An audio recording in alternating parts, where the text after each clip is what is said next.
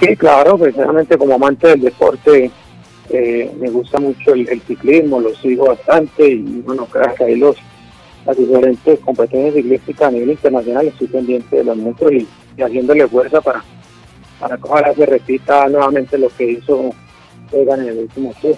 Sí. Sáqueme una duda, Luis. Usted jugó fútbol, ¿cierto? Jugó fútbol, ¿cierto?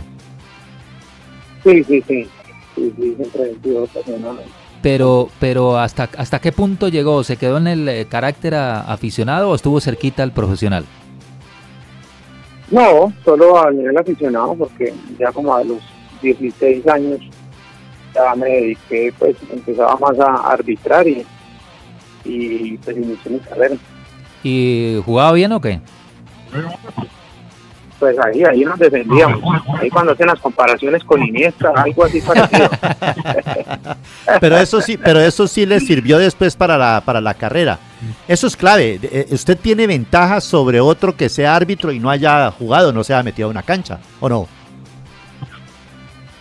Sí, pues no nos sirve para, pues para sentir también lo que muchas veces eh, uno como jugador siente en el campo, porque pues uno como árbitro a pesar de que vaya a aplicar las reglas de juego, eh, pues debe estar por encima, siempre he pensado yo, el sentido común y, y, el, y el ponerse también en los zapatos de los jugadores y, entender ciertas situaciones que se dan en el juego. Si por usted fuera, eh, ¿usted eh, qué haría con la mano? Que es la que más dolores de cabeza les da. Si usted fuera integrante de, del buró de la FIFA, le dieran la posibilidad de tomar una decisión con ese tema de la mano que la interpreta, que si estaba pegada, que si no, que ¿usted qué haría? Eh, yo creo que ese, tema sí es tan complejo porque mirar la intencionalidad del, jugador ya es muy, muy complicado, pero pero pues creo que con lo que se ha ido cada vez desmenuzando, eh, eh, ya mirando que, que en la parte de biomecánica del, el movimiento pues que haga el jugador, si está en una posición natural o no natural, pues cada día está dando más luces a los árbitros para determinar si hay infracción o no. Y, como, como ya se permitió el uso de la tecnología, pues a futuro eh, va a ser más fácil todavía que en todas las, cuando en todas las ligas del mundo se utilice el VAR y poder ir a revisar. Creo que para los árbitros del futuro, digo yo, ya a mí no me tocó esa época, va a ser mucho más fácil arbitrar. ¿Pero pitarlas todas puede ser una buena solución o, no? Lo que pasa es que eh, hay algo que yo siempre he manifestado, es que los jugadores lastimosamente eh, no impera el juego limpio y el jugador a nivel profesional eh, tiene todo premeditado, entonces eh, ya se va a prestar para que yo le tire la pelota a la mano a, un atacante y, porque se van a sancionar. Entonces está siempre tratando de buscarle la ventaja y, como de hacer la trampa. Entonces por eso creo yo que, que se volvería muy muy muy complejo pues decir que, todas las manos sean sancionables. Sí, bueno, la, la intención de invitar a, Luis Sánchez al Supercombo del Deporte no fue para que nos diera su candidato al Tour de Francia ni para que nos dijera qué haría con las reglas de fútbol sino que eh, nadie pregunta por los árbitros. Todo el mundo es, ¿y cuándo vuelve el fútbol? ¿Y cuál es la fecha? ¿Y qué están haciendo los equipos? ¿Y cuándo van a trabajar en grupo? ¿Y si se están cuidando? ¿Y cuántos positivos y cuántos negativos? hay, dos, árbitro, ¿no hay, dos, hay dos cosas que no pueden faltar en, un, en una cancha, que es un árbitro y una pelota. Sin, sin, la pelota y sin el árbitro no se puede jugar. Todo lo demás se podría empezar a sustituir, pero esas dos cosas no se pueden eh, eh, impedir. Y resulta que eh, si alguna vez han tenido la posibilidad de quejarse los árbitros porque no los voltean a mirar, pues en este tema de la pandemia, Luis, digo yo, ustedes sí que tienen que quejarse porque nadie habla con ustedes ni les pregunta. Bueno, ustedes también me hablan poco, pero digamos que nadie pareciera preocupado por cómo están haciendo, qué están haciendo para cuando vuelva al fútbol. Bueno, mm, ya ese tema, digamos, extradeportivo, ya pues eh, es de conocimiento público. Sí, nosotros pues somos los, los últimos en toda la cadena, yo creo que ni hacemos parte de la cadena, pero bueno, ya ese es un tema que, que posteriormente eh, ojalá se empiecen a, a, dar luces para que pues, se mejoren las condiciones de los árbitros en esa parte. Ya en cuanto a lo deportivo, pues ya se está trabajando desde la desde los colegios pues a nivel departamental con unas capacitaciones que recibieron los, instructores eh, en cuanto a las modificaciones que hubo en las reglas de juego eh, también se hizo una capacitación a los a los preparadores físicos de las diferentes asociaciones departamentales y ellos pues están haciendo su trabajo también con los árbitros eh, en mira a lo que va a ser pues la, la reactivación del fútbol profesional. Ya se hicieron unas pruebas, unas pruebas pues, para unas pruebas físicas para mirar cómo se encontraban los árbitros y bueno, en eso se ha venido trabajando y esperando ya es cómo va a ser el tema de, de pues, ya en la parte médica, eh, cómo lo irá a manejar pues la, la de mayor para, para la reactivación del torneo en el tema arbitral. ¿Cómo así? ¿Cómo va a ser la de mayor? Luego no les dijeron que los las regionales tenían que pagar las pruebas y hacer todos los exámenes y, entregar resultados de que estaban óptimos para, para poder dirigir. No, pero eso era únicamente para el tema de las pruebas físicas. Cada asociación departamental pues se hizo cargo eh, pues de tener allá los elementos de, de bioseguridad pues para que presentáramos las pruebas pero pues ya me imagino que ya en esa parte médica cuando cuando tienen que hacer las pruebas de, COVID, eh, me imagino que van a ser asumidas por pues por la entidad que regenta el fútbol en Colombia. Ya, y no les han dicho, por ejemplo, como al fútbol, ojo que todos los árbitros tienen que ir a una burbuja, estar en un solo hotel concentrados para evitar riesgos. ¿A ustedes nada de eso les han dicho, no?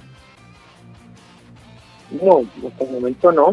Se ha hecho pues, de parte de la, de la comisión una se hizo el, eh, eh, una encuesta, porque pues estaríamos dispuestos a, estar en, un sitio determinado durante tantos días.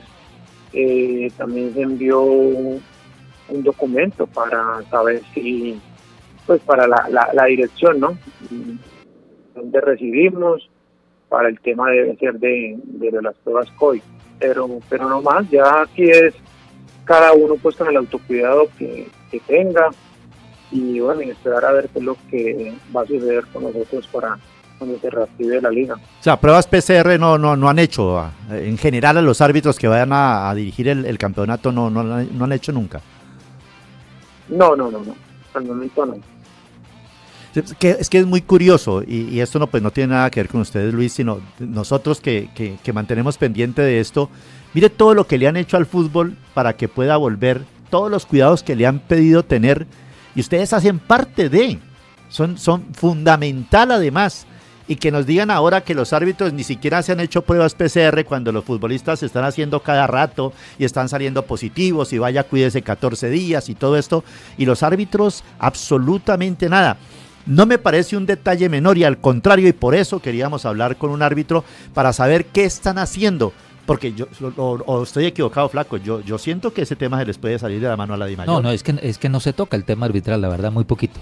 Muy poquito. Se habla siempre del futbolista, pero de los árbitros, de los árbitros absolutamente nada. ¿A ustedes no les preocupa, Luisa, que, que no, que no tengan esa, esa, esa posibilidad y que, y que de pronto pueda por ahí resultar que ahora cuando la cuando la el Ministerio de Salud pregunte, bueno, y los señores árbitros, ¿cómo, cómo se manejó ese tema? Y no, pues a nosotros no nos hemos hecho pruebas porque nadie nos dijo que nos las hiciéramos, ni nadie nos las tomó, porque hay aquí un pase de responsabilidades.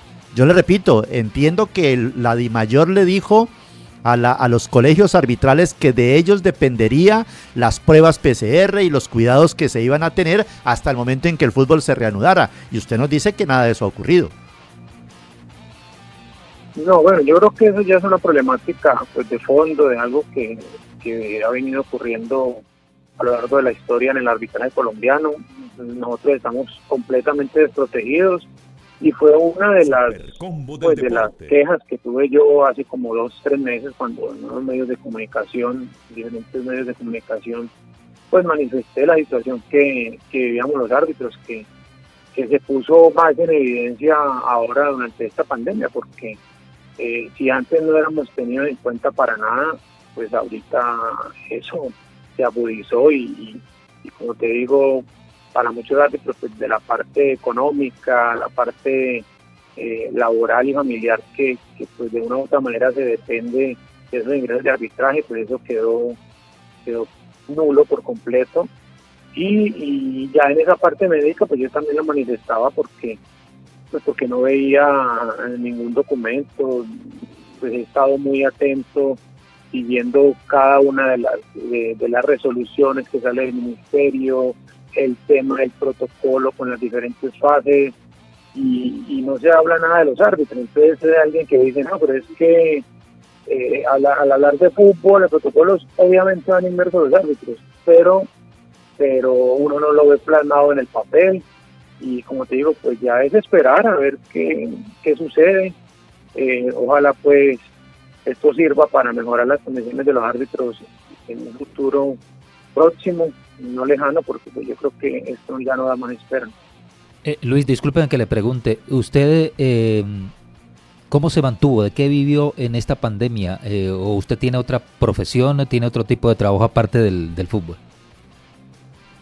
Bueno, hago otras actividades ya de, manera particular, independiente, y eso pues sirvió para, pues, para uno sostenerse este tiempo. Mm, la misma situación hace que usted pues genere eh, nuevos espacios de, ingresos. Entonces, pues eso pero ahí hay muchos donde dejaron, hay personas, árbitros que han dejado sus trabajos para, para poder dedicarse más al arbitraje, porque a pesar de que aquí no está profesionalizado eh, nuestra labor, mm, hay muchos árbitros que ya son profesionales, ya son muy profesionales porque están dedicados a eso, porque el fútbol hoy lo exige, exige que usted esté dedicado para poder eh, pues cumplir con la misma exigencia que Google está demandando. Además, eh, Luis, eh, siempre nos ha preocupado que los pocos días de entrenamiento que han tenido los futbolistas puedan dar como consecuencia muchos lesionados. Ustedes también tienen que correr, ustedes también necesitan un acondicionamiento físico porque también puede suceder que el árbitro en la mitad del partido problema muscular y, y, qué hacemos y a cambiar de árbitro, todas estas cosas que para nosotros son fundamentales y que para mucha gente del fútbol pasa de largo, como lo estamos comprobando tristemente en, esta nota, en esta nota con usted. Yo quisiera saber cómo van a llegar físicamente ustedes. Los, jugadores estuvieron siempre, aunque sea por, por, Zoom, haciendo ejercicios, haciendo trabajos en casa. ¿Ustedes hicieron eso, algo de, actividad durante todo este tiempo? Bueno, se han dado unos, unos parámetros de parte del de, de preparado físico que tiene la federación, en pues unos insumos y ya cada uno de los árbitros pues, toma de allí lo que lo que necesite. Eh, pero pues obviamente no es igual como pasa con los jugadores. Eh, no es igual porque aquí ya es cada uno lo hace de manera individual. Eh, pues no el seguimiento si se hizo no se hizo. Nosotros obviamente mandamos una planilla en esos últimos mes y medio con las actividades que hicimos, pero pues es igual con los jugadores que tienen pues todo ese, equipo interdisciplinario haciéndole ese acompañamiento y bueno, ojalá no vaya a, pasar que, que pronto hayan compañeros eh, que se lesionen ahorita cuando se comience el torneo. ¿Y, se puede hacer posible, porque obviamente nosotros corremos, o sea, está comprobado que nosotros eh, hacemos dos hasta tres veces más eh, lo que hace un deportista, un jugador en el partido y, se requiere estar mejor preparado. Sí, 12.31. Eh, César, César, creo que tengo un interrogante. Gracias, Jorge. A ver, eh, hombre, don Luis Sánchez, mire, ese problema del arbitraje viene de hace muchísimo tiempo. Yo recuerdo hace 30, 35 años, hicimos un debate eh, con el grupo del inolvidable Armando Moncada y eh, invitamos eh, en esa, aquella oportunidad a Flower Escobar de Palmira, a Henry Agudelo, a Orlando Sánchez y las quejas eran las mismas. No había unión, no había respaldo de la DIMAYOR, nada de seguridad social, nada de preocuparse por el arbitraje. Y después de muchos años, uno escucha a los árbitros. El año pasado compartí grupo deportivo con Luis Yesid Melo y también decía algo parecido. Es que hay muchos egos, no se unen, ¿Por qué no se consolidan de una vez y para siempre, Luis, para alcanzar eh, cosas positivas para el arbitraje? Porque es que no es justo lo que está sucediendo con ustedes. Sí, lastimosamente, eh, pues los mismos árbitros hemos sido los culpables de que de que pase eso con nosotros, de que, de que nos hacen de esa de esa manera. Y yo soy honesto, o sea, mm, yo soy el primer árbitro, siendo árbitro activo, pues que, que di declaraciones a la prensa. Obviamente yo nunca he atacado pues la manera como trabajan en lo deportivo, ¿no? Lo mío fue ya algo más eh, desde la parte humana, ¿sí? Eh, pero pero creo que esto ni activa va a cambiar eh, en, el, en el tiempo así próximo va a cambiar la, la situación porque pasa lo mismo, o sea, en los árbitros pues, les da temor hablar, cada uno pues está en su región eh, mirando cómo, cómo va a obtener ese beneficio y que sea designado. Entonces, así se vuelve muy difícil. No sé, ojalá eh, también de la parte ya dirigencial, pues pase algo, no sé, pase algo y, esto sirva para que al menos se, siembre esa semillita, a ver si, en, algún momento pueden cambiar las condiciones, porque eh, el fútbol está exigiendo, exige que seamos máquinas, eh, cada día invierten, invierten recursos para, para mejorar pues, y tecnificar el fútbol pero no se hace lo mismo a nivel arbitral. Entonces, eh, así, no, no, si no se va de la mano en esas dos cosas, eh, pues el fútbol va, va a progresar, va cojo. ¿Ustedes también ansiosos por, por, por volver? Pues digo, sobre todo está, habla por, por su colegio, digo, están ansiosos porque haya un uso del fútbol. Y si lo hubiera el 13 ahora que, se está manejando, ¿están listos? Sí, sí. De hecho, pues la semana pasada hicimos eh, la prueba física, que en esa prueba física, si usted no ha venido teniendo pues un acondicionamiento, difícilmente se supera.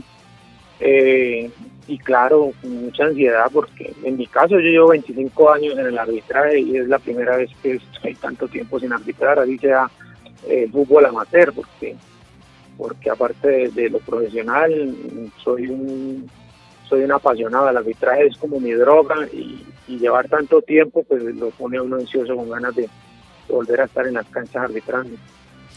12.34, don Luis, muy amable por estar en el Supercombo del Deporte, muchas gracias. Bueno, muchas gracias a ustedes, Gracias.